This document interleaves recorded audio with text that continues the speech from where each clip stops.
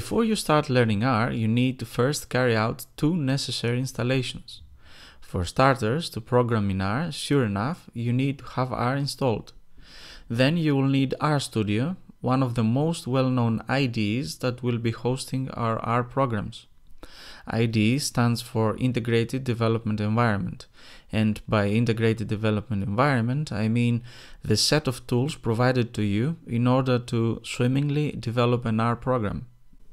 For instance, some basic features include an editor with code coloring that very easily help you spot keywords, variables and other types of R objects that you will be learning in the next videos, also code auto-completion and debugging.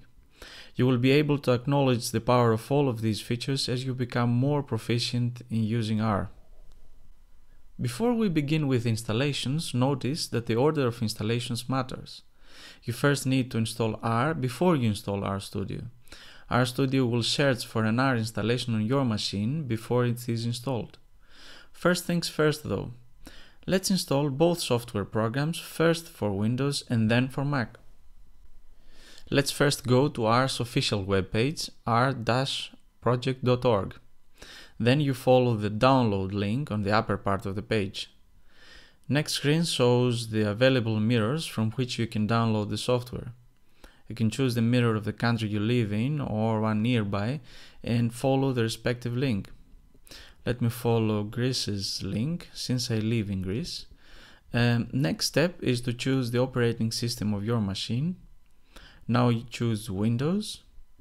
In the next screen, uh, click on the base link and then you simply select the download R link. At the time of this video recording, R's latest release version is 3.5.2. Now you save the file and then double click on it to execute the downloaded uh, .exe file. Now a new pop-up window appears that gives us the chance to set the installation language. Here I choose English. Next pop-up window is about the terms and conditions of using R under its uh, GNU public license.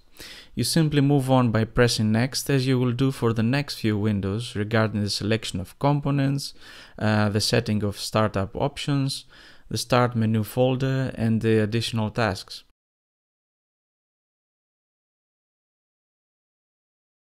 Now R is installed and you are one installation before you are ready to go. It's RStudio's turn now. First you need to visit RStudio's official webpage. Then choose the Products tab and select RStudio. You find the Download the RStudio desktop link for your laptop or desktop PC. In the next window you choose to download the free version and finally you pick the Windows installer. You choose to save it somewhere on your disk that you can easily access and then wait until it's downloaded.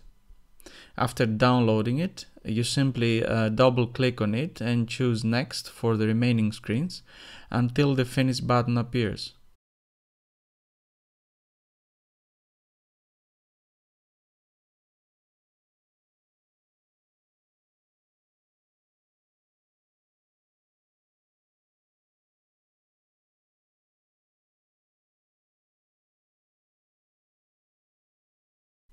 The only thing that remains is to actually find and open RStudio.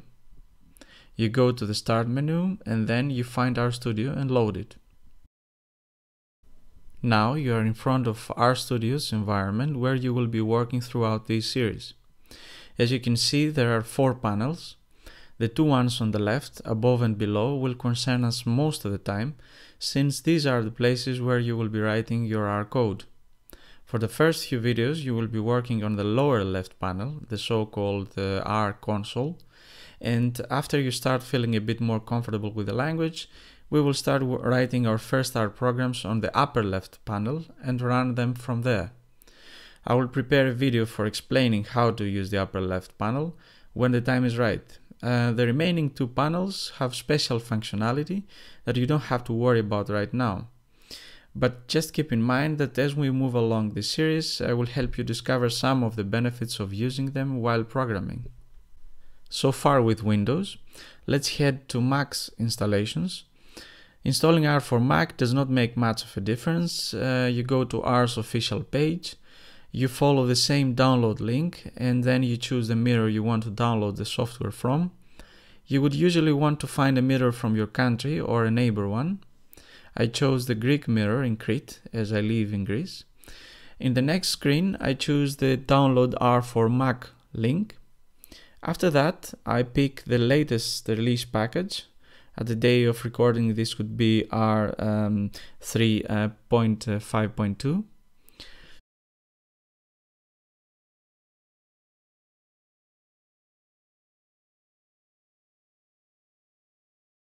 Now R is downloaded and next step is to install it. Press continue, then agree to the terms of the license agreement, choose your disk if you are the only user of your Mac, and install. Insert your password to allow the installation by entering your password and then the installation begins.